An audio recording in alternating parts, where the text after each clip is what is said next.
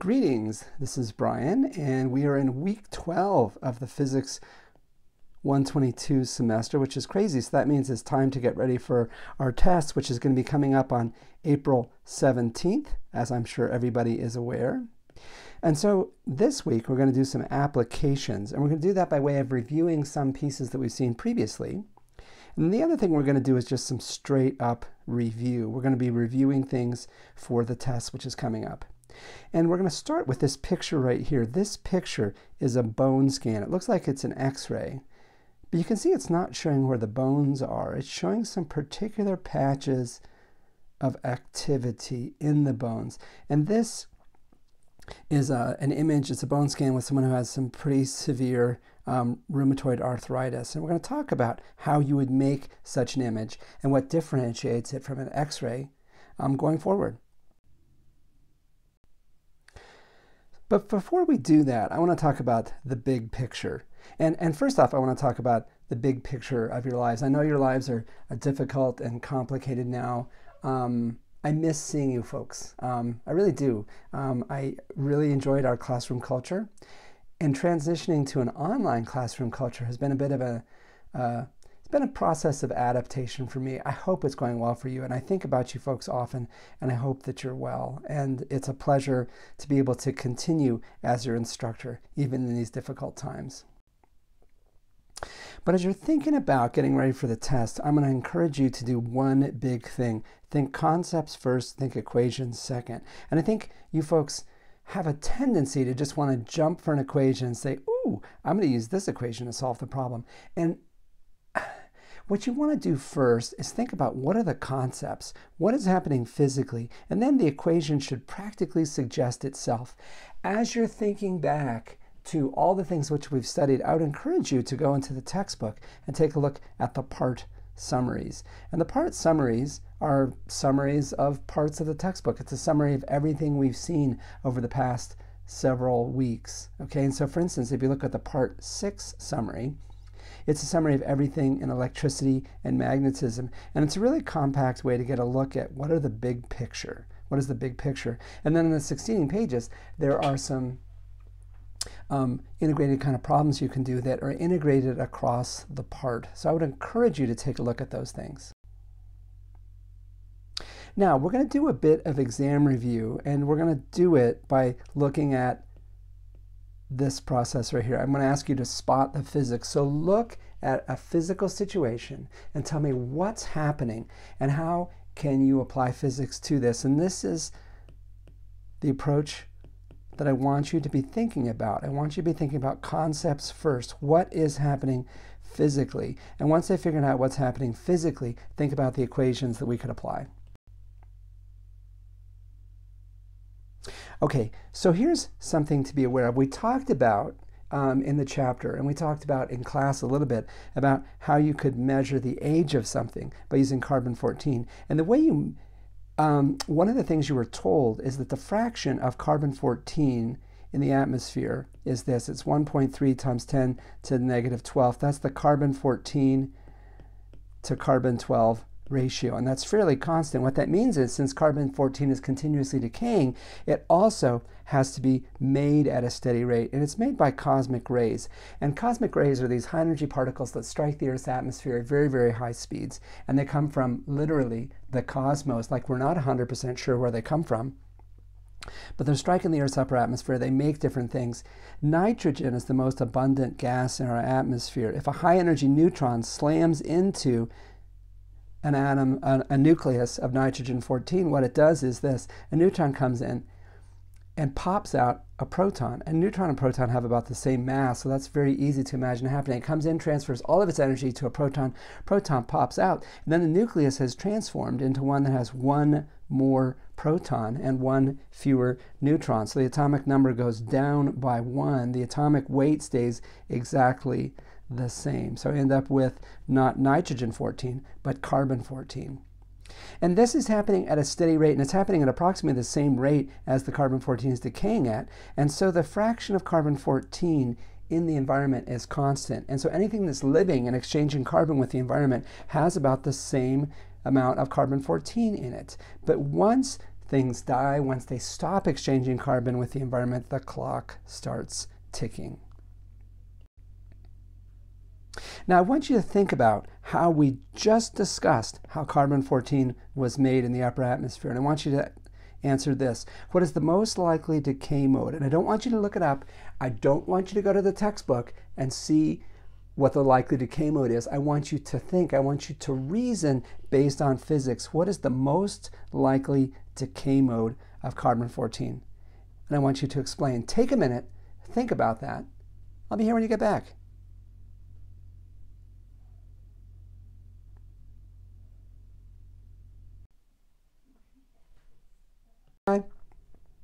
We know how they decay. We know how they decay.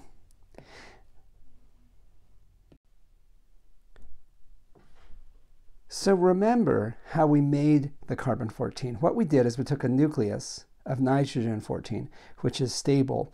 We stuck in an extra neutron and we popped out a proton. So as a consequence, you end up with this nucleus that clearly is going to be neutron rich. This nucleus has too many neutrons for its comfort. And we know how nuclei which have too many neutrons decay. The easiest thing for them to do is to take a neutron, turn it into a proton, and when it does that, it emits a high energy negatively charged particle. It emits a beta minus particle. So this is tailor made for beta minus decay, and that is in fact how carbon 14 decays. It's a beta minus decay. You know that's true. But I, when you were thinking about this problem, I want you to just reason about it. Don't go and look it up. You know enough to be able to say this now based on everything we've done because we're focusing on the concepts. Now, here's a question for you. So, suppose an archaeologist of the future unearths this tie dyed t shirt from the 1960 and if they do carbon 14 dating on it, I want you to think about everything that we've talked about. Will they overestimate or will they underestimate the age? Now, think about how that relates to everything we talked about on our last topic in nuclear physics. We did that duck and cover, Tales of the Atomic Age. Think about that. Think about all the things we talked about that day. And then ask yourself this Will they overestimate or underestimate the age? age? Reason about this. Don't look it up. Remind yourself of the details that we talked about last Friday. What's your verdict on that? Take a minute to think about it. I'll be here when you get back.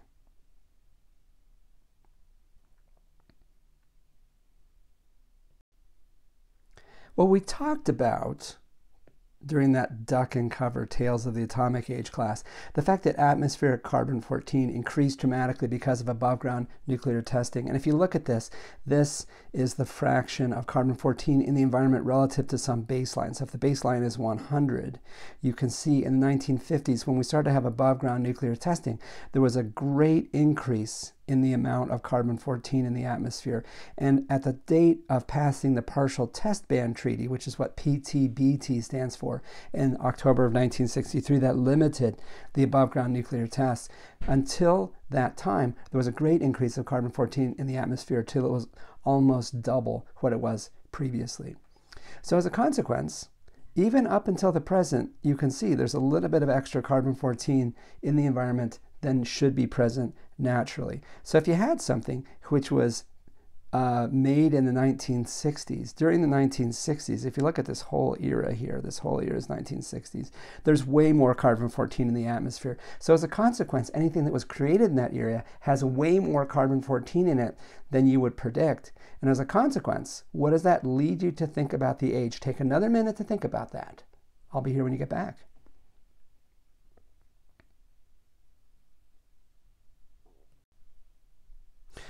Okay, so this thing has too much carbon 14 in it. And so as time goes on, when it's measured in the future, if you just assume that when it was made, it had the same amount of carbon 14 as has been historically true, it's going to have more than that. And that will lead you to think it's younger than it was because as time goes on, the amount of carbon 14 decreases, and this has got extra carbon 14. And so you're going to underestimate. You're going to underestimate the age. And in the future, when people dig up things, they're going to have to correct for that. because their ages otherwise will be underestimates. Now, I want you to think about this question. Oil and coal generally contain no measurable carbon 14. So if you look at the carbon 14 in oil and coal, there's basically none. What does that tell you about how long the oil and coal have been buried? I want you to think about that. And I don't want I want you to think about that. I don't want you to look it up. I don't want you to do a Google search. I want you to reason based on what you've learned in this course. What does this tell us about how long the oil and coal have been buried? Go ahead and talk. Go ahead and think about it for a minute. I'll be here when you get back.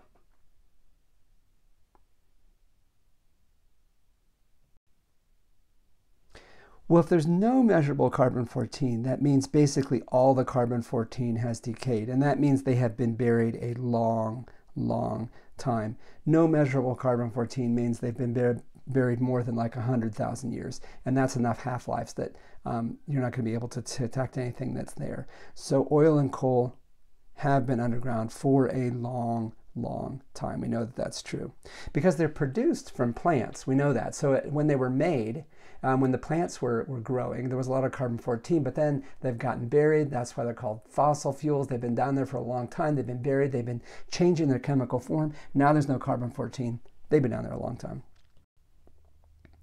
Now, here's a really interesting thing that somebody in the class told me about, which is kind of awesome. When you buy drinking alcohol in the United States, and I've illustrated this by having some bottles of wine here with labels on them, they test it to see if it's radioactive, and it must register at least 400 becquerels per 750 milliliters of alcohol. Now, why is that true?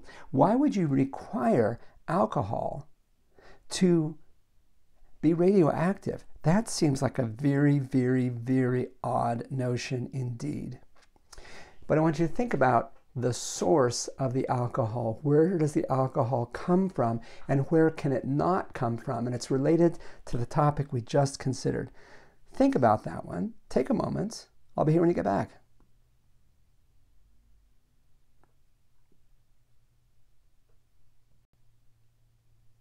Here's the crux of the biscuit.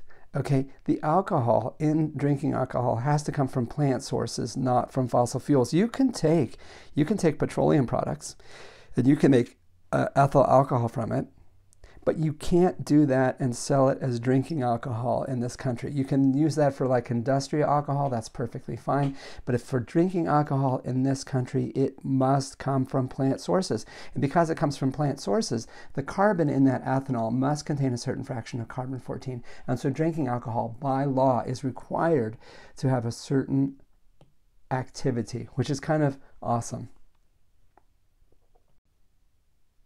Now, I want to talk about nuclear medicine, and I want to think about this as applications of all the nuclear stuff that we've been thinking about.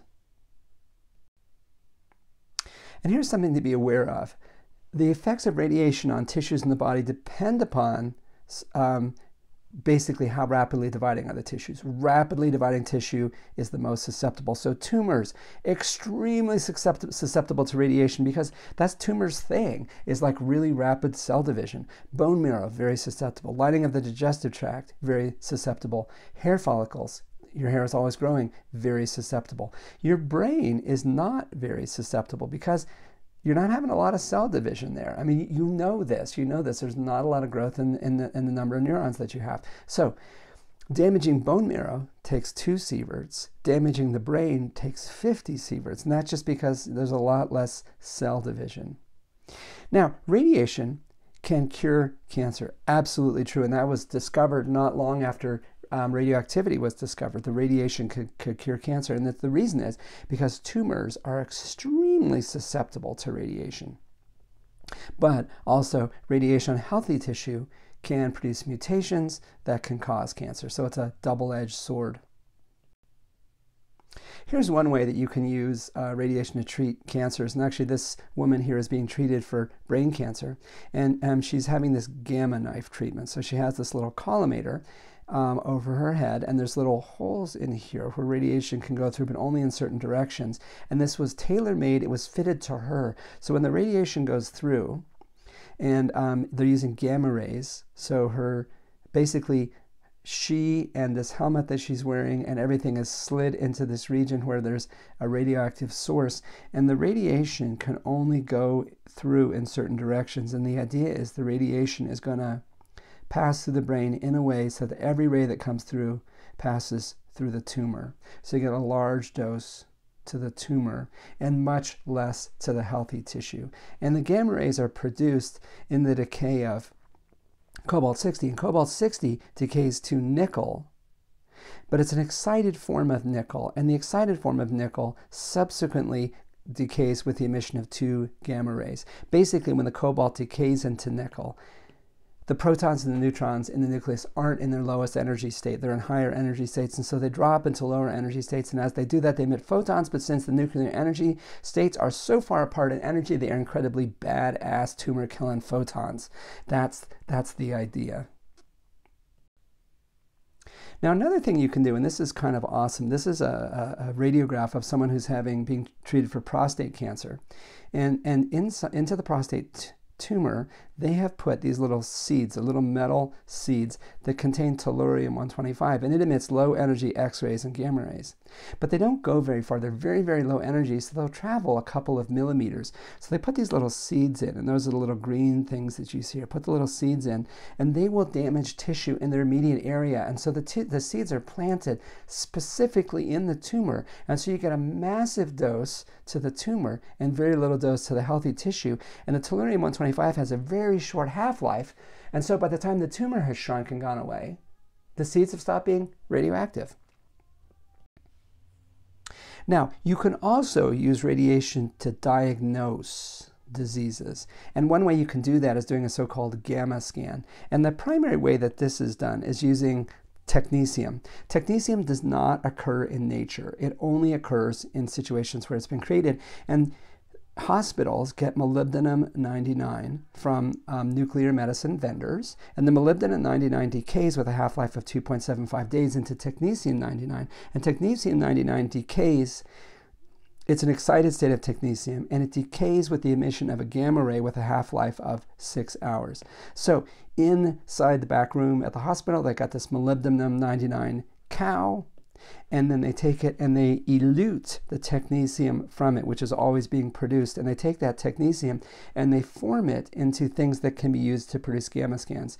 So here was a case where someone um, was given the technetium, and it was the technetium atoms were connected to these sulfur colloid particles, and the person drank those. And then those are uh, that's something which is preferentially taken up by the kidneys and the bladder. And then an image was made of where is the radiation in the person's body, and it shows you where are those tissues, where are the tissues that are taking up the radiation.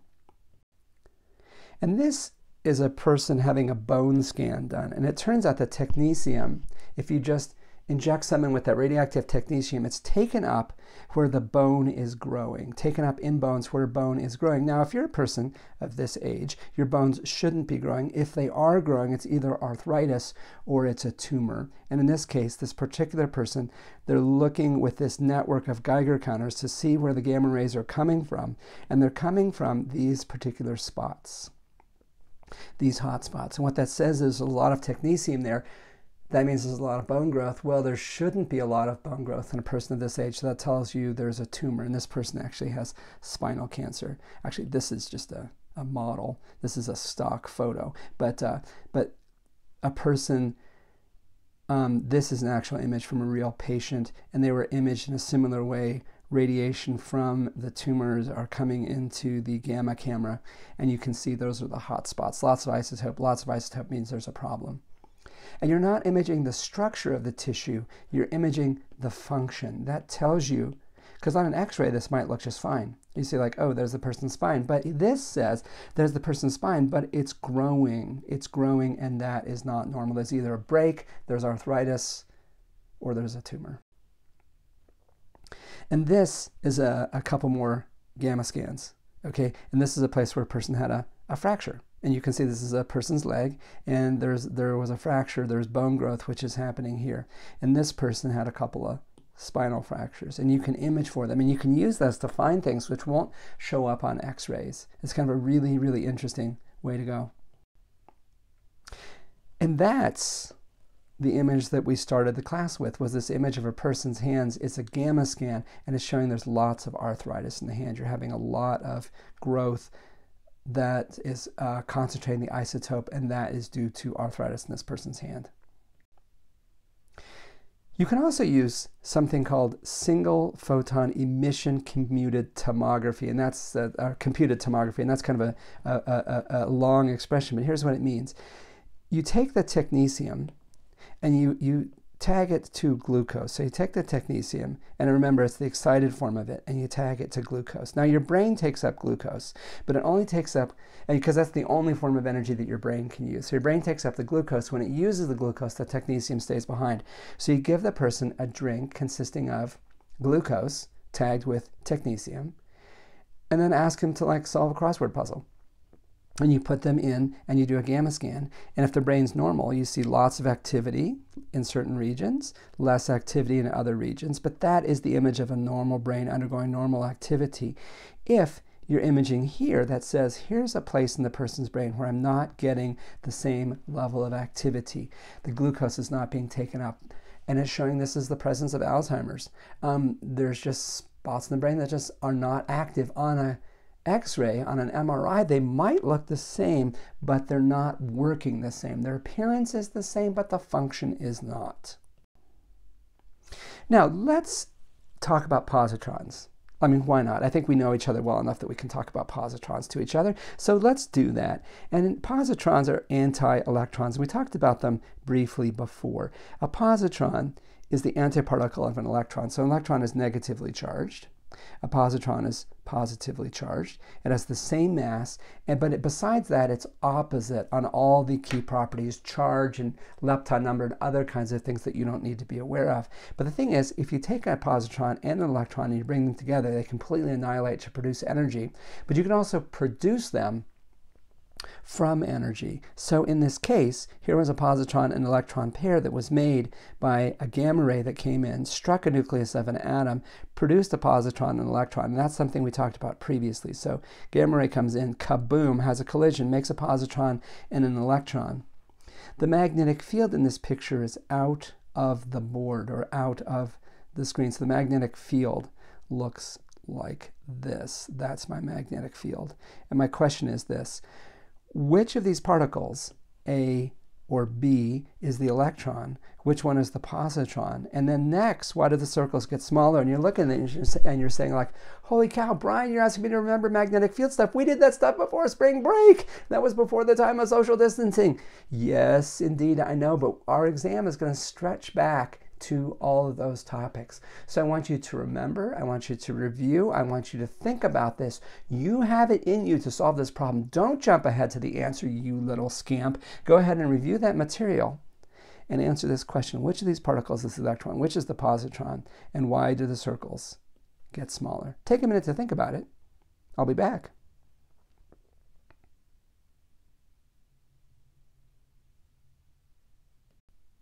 Now, before we jump ahead to the solution, I want you to think about this. I want you to think about right-hand rule. So the magnetic field is going out of the board. Okay, right-hand rule tells me magnetic field going out of the board, velocity going to the right, that the force on a positively charged particle would be downward. And if you look at the path of this particle, as it starts to move, it begins to curve downward. And so B is our positron. That's our E plus. If I look at the force on a negatively charged particle, it's in the opposite direction. So the green trail represents a negatively charged particle because it begins to get pulled upward. That clearly is the electron. Why do the circles get smaller? Think about this. Remember when we talked about paths of charged particles in magnetic fields and the radius of the, they go in circles, and the radius of the orbit, remember, was proportional to the speed. As the particles slow down, the radius of the circle gets smaller. And so what's happening is the circles are getting smaller because the particles are losing energy, and we can tell they're losing energy because they're leaving a little ionized trail behind. And the energy to ionize the atoms has to come from someplace. It comes from the kinetic energy.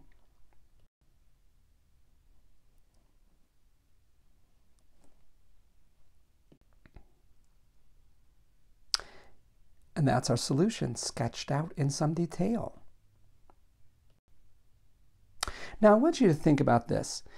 We're going to make nuclei that are neutron rich. We're going to make nuclei that are proton rich. And we do that by accelerating protons in this device called a cyclotron. And then the cyclotron, you take a proton and you accelerate it and you keep it going in a circle with a strong magnetic field and it goes fast and you keep accelerating it going faster and faster, it goes in bigger and bigger circles and then it comes out at a high speed and you can get the particles up to very, very high speeds. This is a picture of a cyclotron right here. So we speed the particles up, we set them round and round and round in each orbit, they get a kick, they get a really, really high speed. That's a cyclotron. You slam those protons into a nucleus of an atom atom, and if you slam a proton into an oxygen 18, the proton knocks out a neutron. So a neutron pops out the other side. That's one, uh, one thing that can happen. So it's just like a billiard ball collision. Proton comes in, slams into neutron, boom, neutron is ejected, proton comes to rest, insinuated into the nucleus. And so I have a nucleus that has one fewer proton. I'm sorry, one more proton and one fewer neutron. And so instead of having oxygen 18, I have fluorine 18, I've increased the atomic number by one. And here's my question. If I make a nucleus this way, what is its most likely decay mode? Do not Google this. Do not look it up. Do not look at Appendix C to see what the decay mode of that nucleus is. Reason, based on what you know about physics, what is the likely decay mode of this nucleus? Take a minute to think about it. I'll be back.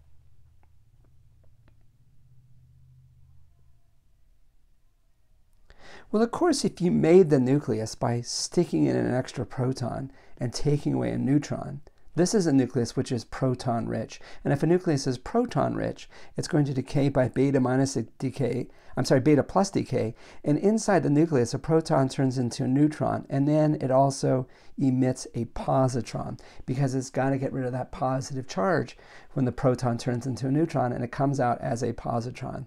So this is a beta plus emitter. It's a positron emitter. Those do not occur in nature but you can make them. And why would you want to do such a crazy thing? Well, heavens to Betsy, we're going to talk about that right now. And here it is just written out for us in detail. You have beta plus decay. We took a, a nucleus, we removed a neutron, added a proton. That nucleus is proton rich. It's going to want a beta plus decay. So this is going to be decaying by emitting a positron, and it's the positron that we're interested in for medical reasons, as we'll talk about. But first, now, there's a couple of different positron emitters that, that we use in medical techniques, and one of them is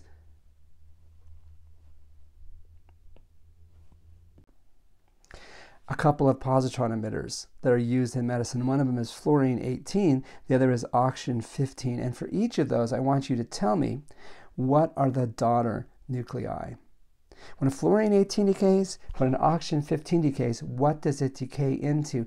Take a minute, don't look it up in the book, reason based on what you know about how nuclei work, and come up with the answer. What are the other nuclei? Take a moment to reason about it. I'll be here when you get back.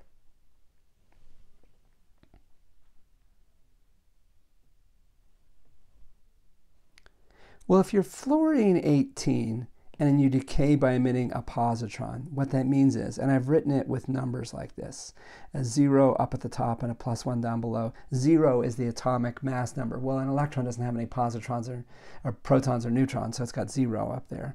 The plus one down at the bottom I can think of as being the number of protons, but I can also think of it as the number of charges. I lost a positive charge out of the nucleus, so as a consequence, I can only have eight positive charges in the remaining nucleus. But I didn't lose any nucleons, and so I still have 18 nucleons. And so I have 18 nucleons, 8 protons. That's oxygen 18. Basically, the nucleus goes back to where it came from. And if I look at oxygen 15, oxygen 15 loses one positive charge. And so as a consequence, it's going to be atomic number 7. It does not lose any nucleons. And so it's atomic weight 15. And so I end up with nitrogen 15, which is a stable isotope of nitrogen. And here it is written out. These are the daughter nuclei for these two decays.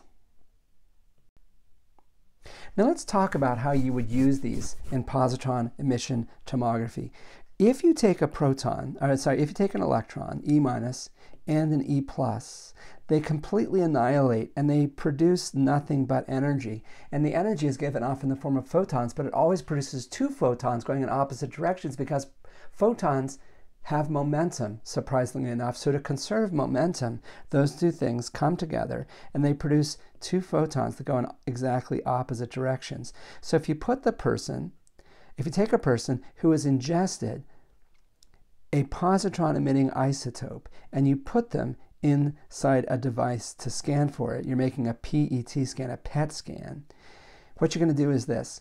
Inside the person's brain, a positron is emitted it combines with an electron, makes two gamma rays that go in opposite directions. And what you can do is you can see like, oh, where did I detect the gamma rays? I detected one here, I detected one here. You can actually measure the timing and you can decide where along this line the gamma ray was emitted. And so you can pinpoint with extreme accuracy exactly where the particle came from.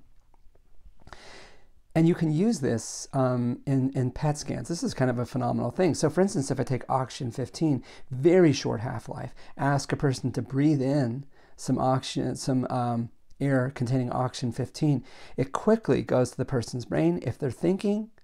And you can tell where inside the brain the oxygen 15 is decaying. You can see where is the active part in the person's brain.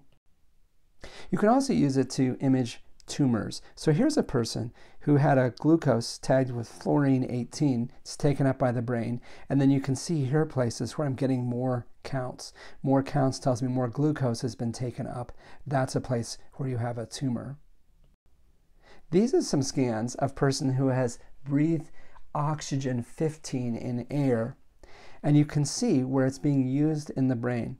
So if you're playing a tape of a language and it's an unfamiliar language to a person, the parts of the brain that are active are places concerned with audition, with hearing.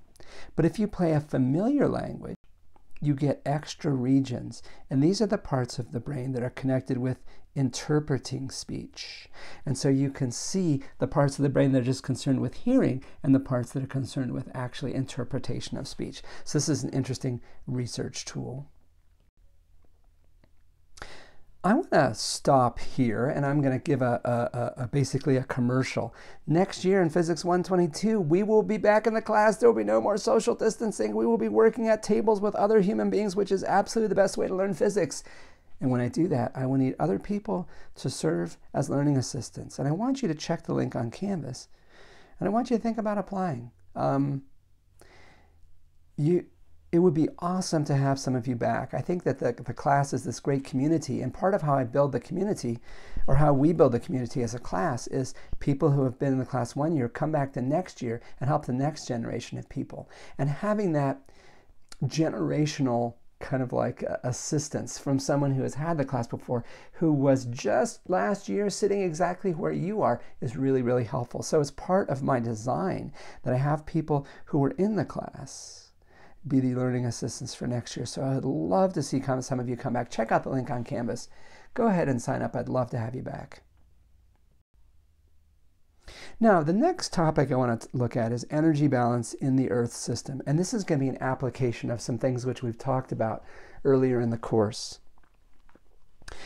To a first approximation, the temperature of the Earth doesn't change much with time. The Earth is about the same temperature as it was 2 billion years ago. So, what that tells us is, to a pretty good approximation, the energy in is equal to the energy out.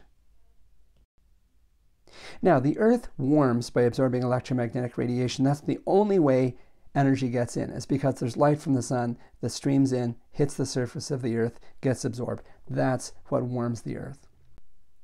And let's do a quick calculation about that. The Earth cools by emitting. So the incoming energy is this. The power that the observe, Earth absorbs from sunlight is the intensity of sunlight times the area that the light shines on times 1 minus the albedo. And the albedo is the amount of light that's reflected. And you can see we've got a lot of reflecty bits here. The cloudy bits and the snowy bits reflect a lot of energy back to space. The albedo of the Earth is about 0.367. The intensity of sunlight is 1,366 watts per square meter. This is the radius of the Earth. So if I'm going to do that calculation of the incoming energy, here's my question. What do I use for the area? I want you to think about what the area means in this case. Cogitate, think about this. I'll be here when you get back.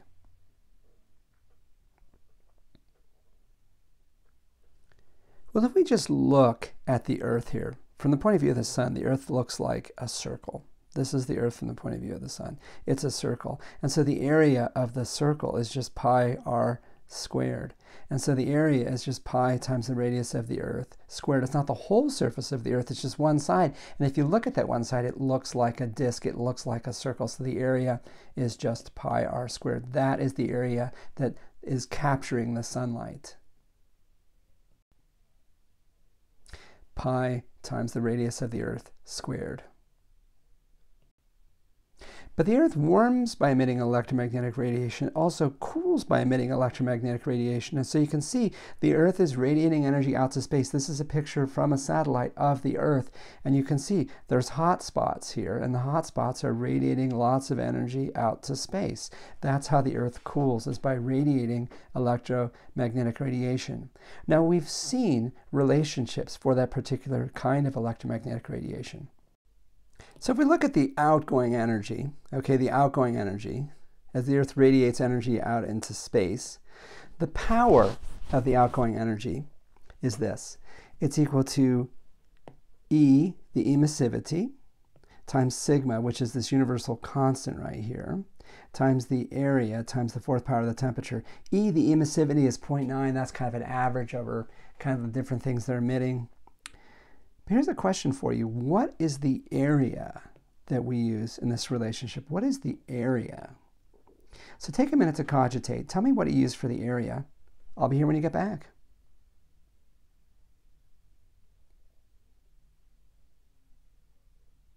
And if we look at this picture, the Earth this is the Earth radiating out into space, but it radiates from all parts and radiates from all parts uniformly. Only one side of the earth sees the sun, but both sides of the earth see the sky. And so the earth is radiating out into space from all places. And so as a consequence, the area that we use is 4 pi times the radius of the earth squared. It's the surface area of the earth. So with this information in hand, we can actually compute a number for the uh, we can actually write down an expression for the outgoing energy. We also have an expression for the incoming energy. And we know that there's an energy balance in the Earth system. Now, I want to think about this. We said that the energy in is equal to the energy out. And if you look at the two calculations that we just wrote out, we know that the energy in is equal to the energy out. Now, if that's true, we can equate the power in, and actually we can just calculate that. that that's a, that a couple slides ago. We can set that equal to the expression which we previously wrote down on the previous slide, which is a collection of constants times t to the fourth, and you calculate the temperature of the surface of the Earth as 0 degrees Fahrenheit. Well, we know that that's not true. If the temperature was 0 degrees Fahrenheit, negative 18 degrees Celsius, the Earth would be a frozen ice ball. There would be no life on Earth. We wouldn't be having this discussion. So there has to be something wrong in our calculation. And in fact, there is. There is a complicating element to the whole system and it's this there is extra energy that is striking the surface of the earth. The calculation that we did was for the surface of the earth. Now, the earth gets energy from the sun. We know that that's true, but it also gets energy from the sky. If you look at the blue sky above you, it is actually shining thermal energy down on you. And the extra energy to make the earth warmer actually comes from the sky, its sky shine. And over the course of the earth day, the surface of the earth receives more energy in the form of thermal radiation from the sky than it receives in the form of light from the sun. Sky shine is more important than sunshine in terms of keeping the earth warm, which is crazy to think about, but is absolutely true. And the reason it's true is this. This is the greenhouse effect. In the atmosphere, there are gases that absorb thermal radiation that the Earth is emitting and they re radiate it downward. And so they get that extra sky shine. And with those gases in the atmosphere, we get a temperature that's 59 degrees Fahrenheit, 15 degrees Celsius, much more reasonable. That's the average temperature on the surface of the Earth. That is the greenhouse effect. And the greenhouse effect is a good thing. This is good. Without the greenhouse effect, there would be no life on Earth. But here's the problem we are in a situation where we are rapidly getting too much of a good thing. A certain degree of warming is great, too much warming is not great.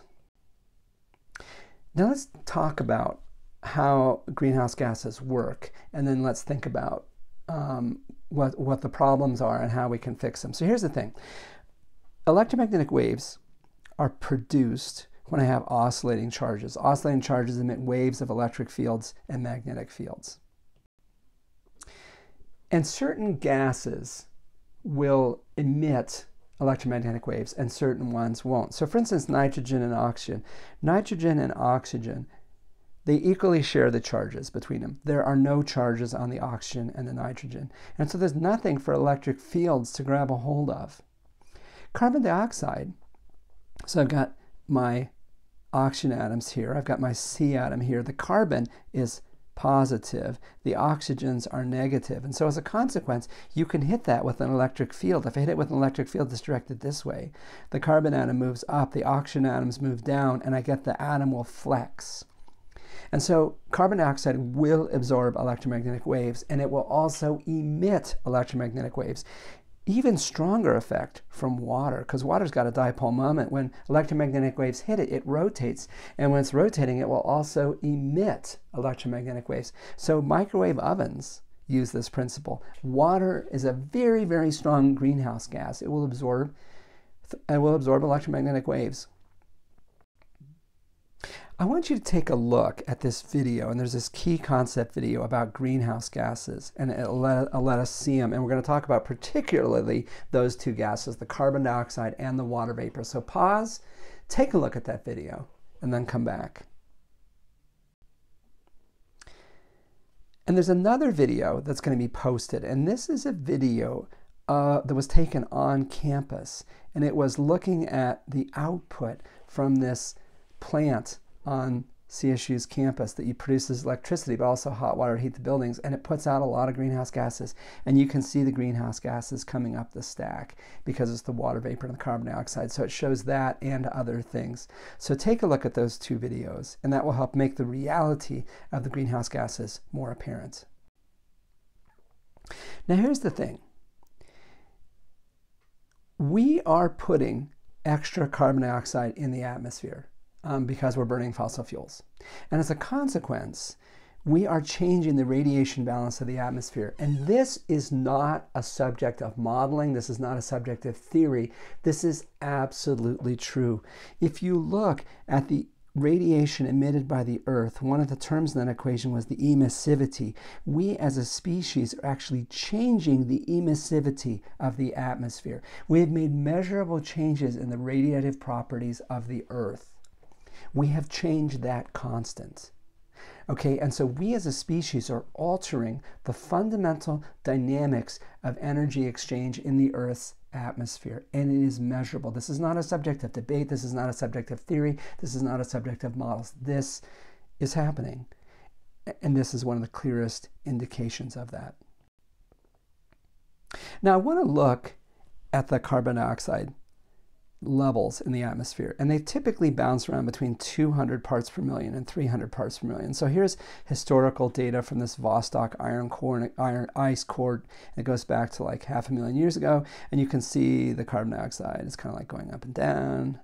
And when it's high, it's warm, and when it's low, it's cool. And so there's like warm periods and there's cool periods. Check out the spike, and I have it here at 400, but actually now we're over 400. We're up like here. And so it's rising and it's rising fast. That level of um, change in as that short period of time is unprecedented. And you can see that by looking at the data. There's fluctuations, but nothing like the fluctuation that we're seeing in the present. Now, here's a question. You could say um, that maybe the carbon dioxide is increasing in the atmosphere, but maybe that wasn't us who did it. Well, there's a couple of lines of argument that shows that in fact it is us. And I'm going to show you what those are and have to do with isotopes. So first off, I want to think about this. About 1.1% of the carbon in the Earth's system is carbon 13. That's it's a stable isotope. It's a heavier isotope of carbon. But in plants, the ratio of carbon 13 to carbon 12 is slightly less than 1.1%. There's less carbon 13 in plants than there is in the atmosphere relatively. And why would that be so? And I want you to think about how gases get into plants, and they get into plants through these stomata, okay, through little openings. Why would you have less carbon 13? I want you to just cogitate about that.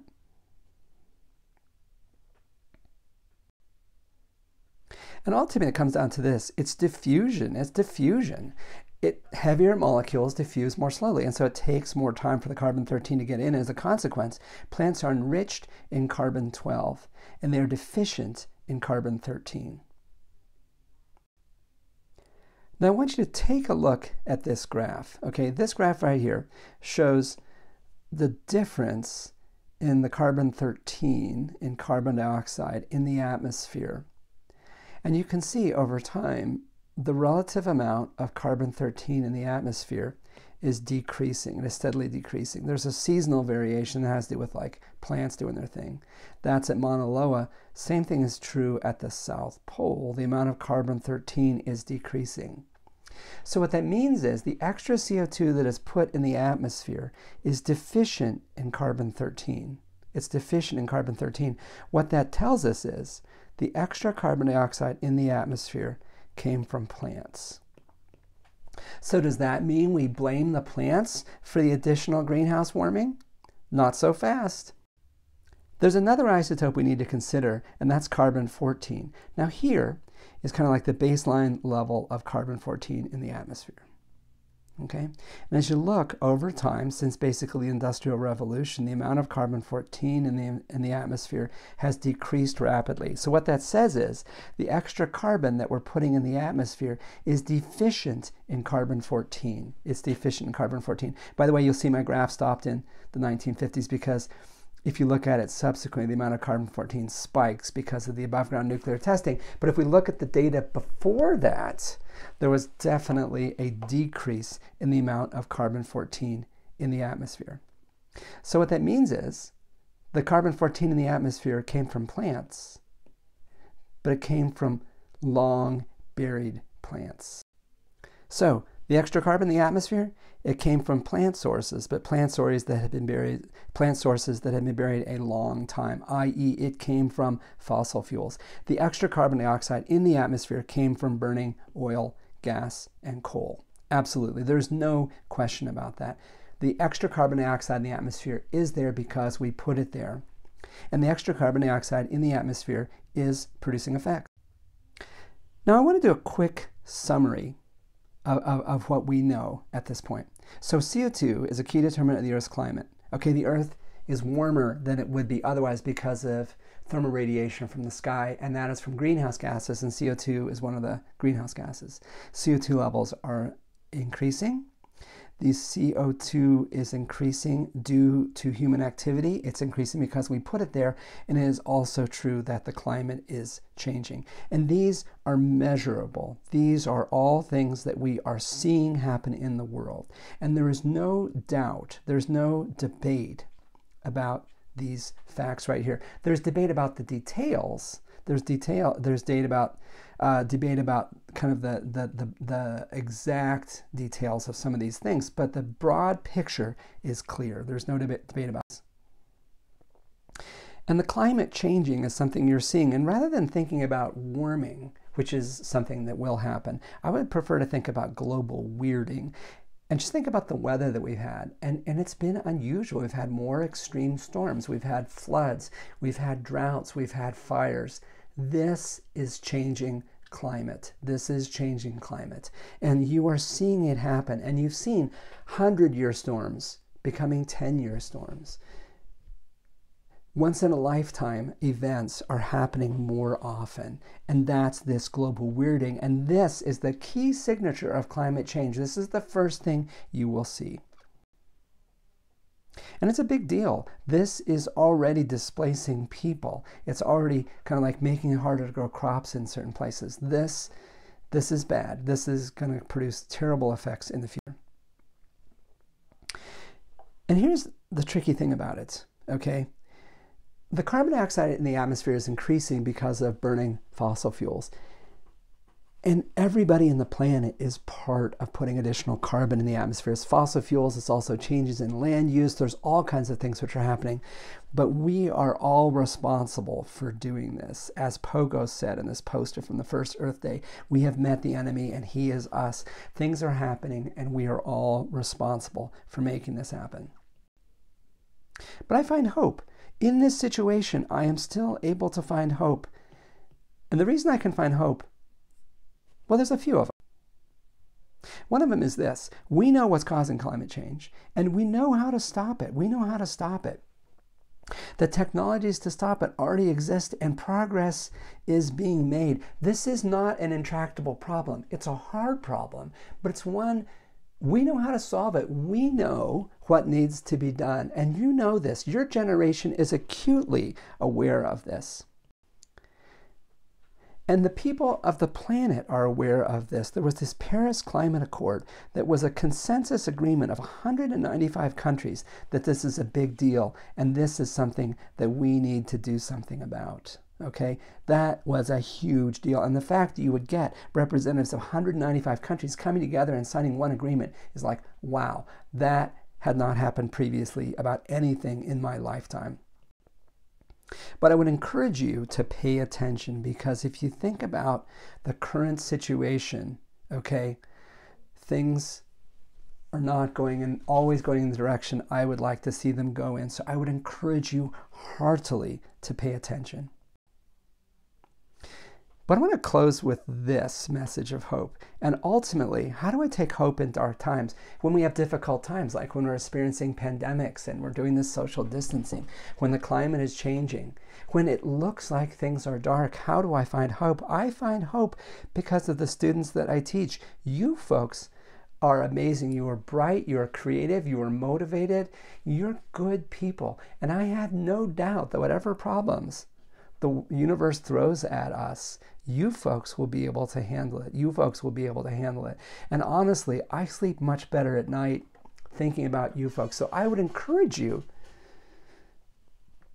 to to to use your energies use your talents to make the world a better place and so many of you I've talked to want to do that and that gives me hope and in the middle of this difficult time I want you to know just sitting here thinking about you folks and what amazing people you are I have no doubt that this situation that we, we are in will end and it will end well. And it will teach you valuable lessons about how to make the world an even better place in the future. Things are going to be fine, and they're going to be fine because the people who are calling the shots in the future are not me and my generation. The people who are calling the shots in the future are you and your generation. And I can't think of any group of people I would rather see in charge of how things go. I have a lot of hope because I have a lot of faith in the young people that I know. And I'm tearing up. So I'm going to go ahead and, and finish up the lecture for today. And next time, we're going to do a bit more review. Thanks very much.